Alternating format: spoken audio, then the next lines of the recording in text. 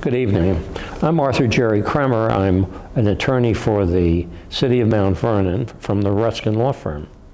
Um, I'm sorry to report to you tonight that the Mount Vernon School District has now sued the City of Mount Vernon for the third consecutive time.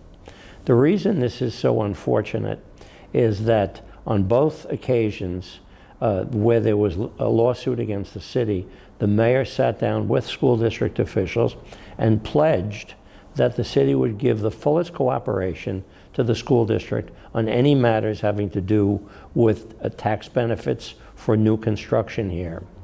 Keep in mind that this community can only survive if new buildings come in here with the jobs that they bring and, and the residential housing that they provide, as well as commercial development. The school district, in all of the litigation, is attempting to stop the city from development and is asking to have veto power over whether Mount Vernon gets any new construction, tax dollars, jobs, and benefits for the city.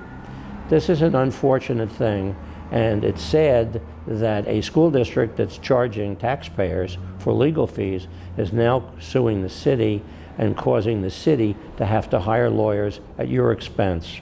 Hopefully, this war of words will end someday, but in the meantime, the city has to defend itself for the third consecutive